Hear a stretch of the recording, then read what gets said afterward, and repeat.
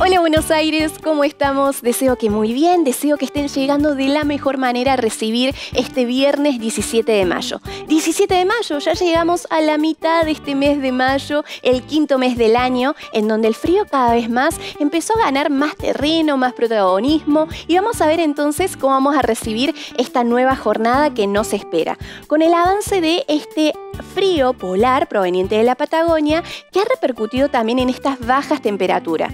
De extremo a extremo, el riesgo de heladas todavía sigue estando vigente, sobre todo en las zonas de alta montaña, en la zona de cordillera. La inestabilidad más bien está ubicada hacia el noreste de nuestro país y entonces vamos a ver cuál es el caso de la provincia de Buenos Aires. Porque de por sí, de por sí mejor dicho, hay poco cambio en el ambiente, en el ambiente frío.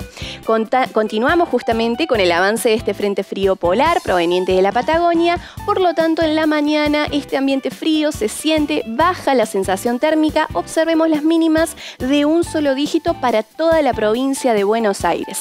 Hacia el oeste mínimas en el orden de 2, 3 y 4 grados y hacia el este mínimas entre 4 a 5 grados.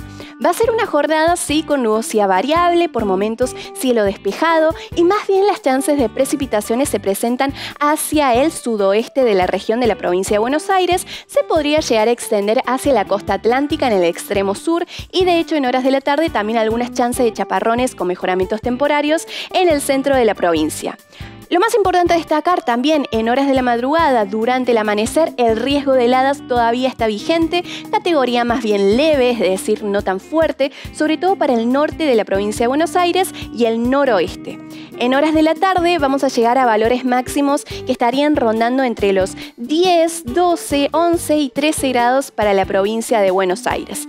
Sin dudas va a ser otro día frío en donde el abrigo nos tiene que estar acompañando. Diríamos más bien estar abrigados en formas de capa, en forma de cebolla, porque si contamos con la presencia del sol, incluso podríamos llegar a disfrutar estos momentos de la tardecita con algún alivio, pero sin duda no va a haber tanto cambio en la temperatura. Así que de momento hay que abrigarse para este día viernes y las condiciones también continuarían similares también para este fin de semana debido a este avance de este aire polar que también mantiene las temperaturas bajas para este fin de semana de mayo.